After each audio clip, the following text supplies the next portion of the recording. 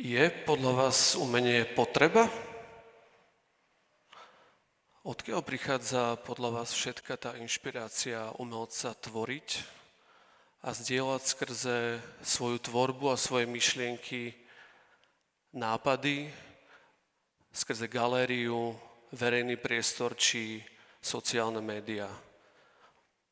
Z mojej stránky je to úprimne potreba zahobiť sa do prítomného okamihu a hľadať v umení slobodu. Slobodu vyjadrovania a taktiež naozaj v úplnej podstate je toto zahobenie do prítomného okamihu to, čo pre, prebieha práve tu a teraz. Čas ako veličinu si môžeme rozdeliť na také tri základné časti, ako je minulosť, prítomnosť a budúcnosť. A práve tá prítomnosť je to, čo ja v mojej tvorbe riešim úplne primárne.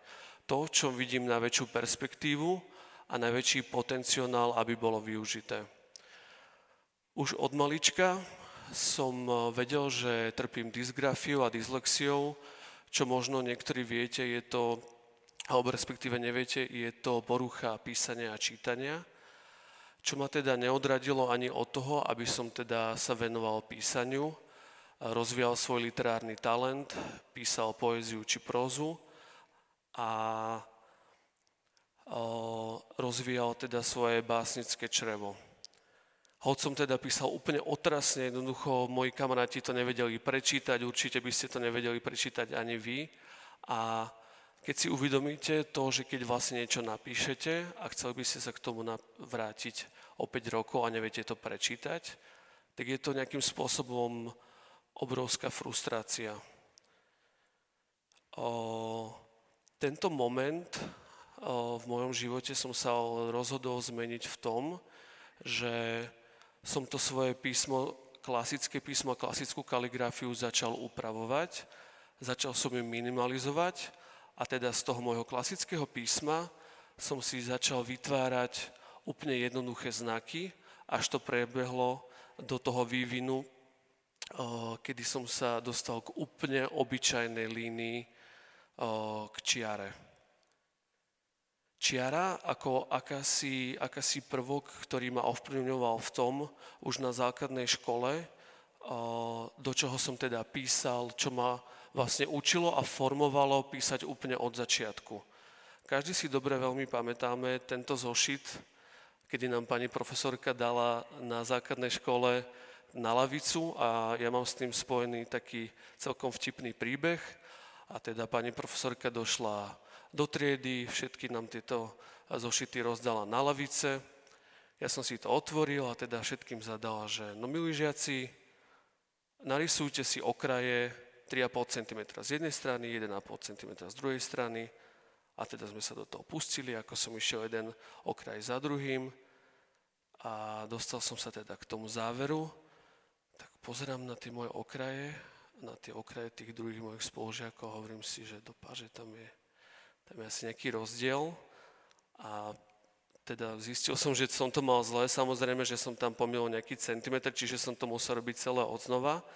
A teda čo som ešte chcel povedať a veľmi zdôrazniť, je to, že vlastne ten svoj problém, tú dysgrafiu a dyslexiu, som videl ako problém v svojom živote, ale skrze to umenie zrazu ten problém začala byť možnosť a začal byť akási príležitosť kreatívne nad tým uvažovať, že to môže byť vlastne šanca a sloboda v tom, že ja z problému môžem mať vlastne úplne nejaký svoj priestor, kde môže mať svoje vlastné pravidlá a z toho môjho klasického písma sa stala teda obyčajná línia.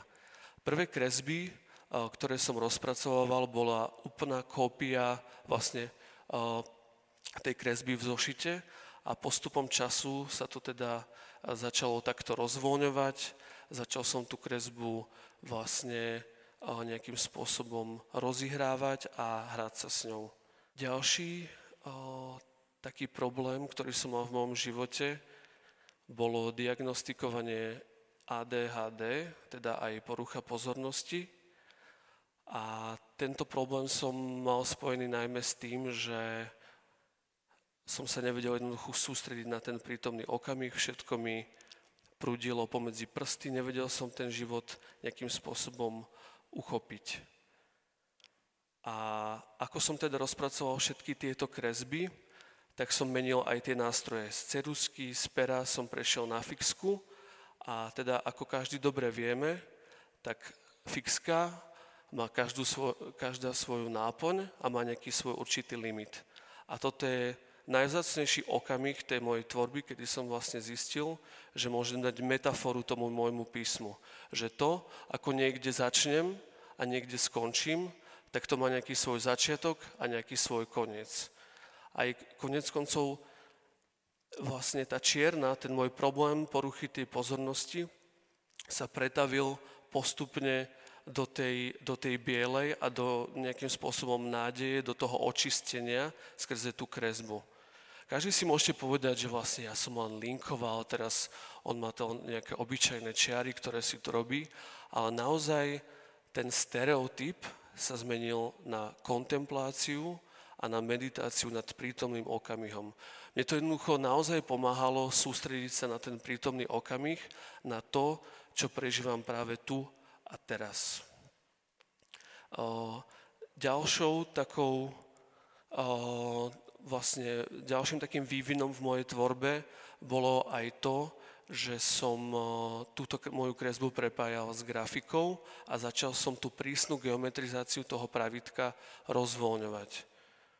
Toto sú konkrétne monotypie miznutia, kedy som na valče, graficky naval čiernu farbu a pomocou toho gesta som vlastne tiež videl nejakú existencionalitu a životnosť tej kresby a tiež som to dával do tej metafory toho, že všetko sa niekde končí a niečo začína.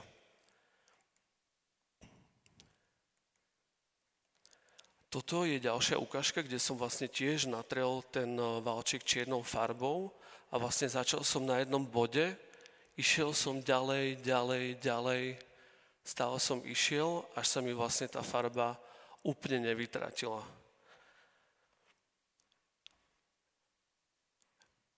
Je to podľa mňa veľmi dôležité v našich životoch zamyslieť sa nad tým, hľadať si svoju vlastnú cestu k tomu, ako sa sústrediť na prítomný okamih, hlavne v dnešnej dobe. Ja som si tento chodník vyšlapal skrze umenie, ale pozývam vás a chcel by som vás strašne srdečne inšpirovať a dúfam, že to bude pre vás inšpiratívne, aby ste aj vy v svojich životoch to, že každý z vás v tejto sále má nejaký dar, venuje sa nejakej práci, nejakému športu. Jednoducho každá tá činnosť v našom živote sa, myslím, dá využiť naplno a naozaj sa zastaviť a vychutnať si to prítomnú chvíľu. Naozaj ju žiť naplno. Konec koncov, každý sám seba sa môžeme opýtať, ktorá časť existencie je pre nás tá najdôležitejšia. Minulosť, prítomnosť alebo budúcnosť.